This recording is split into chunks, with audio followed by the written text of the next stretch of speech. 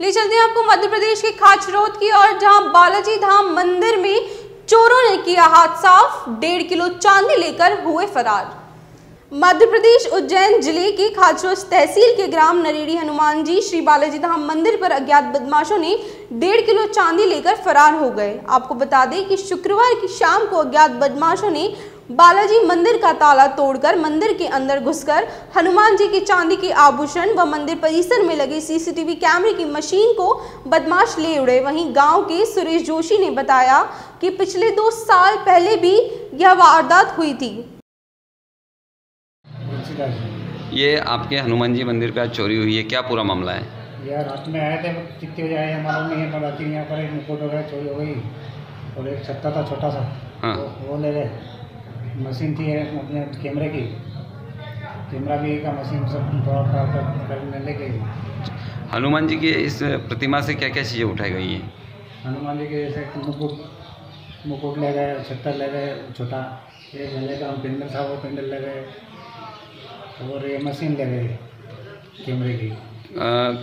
कितने किलो चांदी होगी वो जो ले गए? करीब करीब डेढ़ किलो ऊपर चांदी। अच्छा डेढ़। सभी हो गए क्या नाम है आपका? सुरेश चंद्र जोशी। या हनुमान जी मंदिर पर चोरी हुई है? क्या पूरा मामला है? पूरा मामला क्या? गाँव में मंदिर बना हुआ है। पहले एक बार दो साल पहले भी चोरी हुई थी। तो यहाँ जो एक उद्यान पात्र लगा उसमें कुछ हाथ लगाया था तो उस टाइम तो उसका कुछ पल्ले पड़ा नहीं उसको। अभी फिर आज चोरी हुई नाइट में। सब लोग अपने अपने काम में व्यस्त थे। जो कैमरा लग रहा था उसको भी तोड़ तोड़ा गए अंदर से मशीन ले गए। करीब की सवा डेढ़ किलो चांदी का मुकुट था एक घोटा था एक छोटा छतर और था। यूँ करके ने करीब हाँ डेढ़ एक किलो चांदी होगी इतना सामान ले गए। जिसका राधे श्याम सेन। ये आपके गाँव में जो चोरी हुई है क्या पूरा मामला है? हमें भी चोर मतलब घुसे तो मतलब मुकट हनुमान जी का वो घंटा और छत्र वगैरह ये भी था। ये और कैमरे की मशीन वगैरह ये तोड़ के ले जान